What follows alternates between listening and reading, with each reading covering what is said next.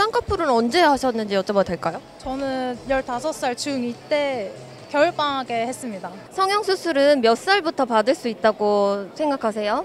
요즘에는 뭐 청소년기에도 많이 하는 것 같은데 저는 그래도 성인이 되고 나서 완벽하게 이제 체형이라든지 얼굴이 자리 잡혔을 때 하는 게 맞다고 생각을 해서 저는 한 스무 살 정도가 적합한 것 같아요.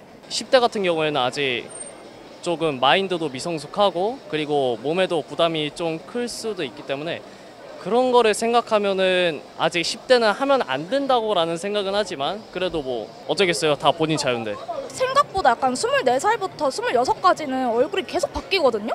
그래가지고 좀 너무 어렸을 때 하는 거는 좀 아무래도 중학생이나 고등학생들은 미성년자라서 엄마 부모님한테 허락을 받고 했겠죠. 근데 그 부모님도 그 눈이 문제가 있는 것 같으니까 이제 해주신 거니까 뭐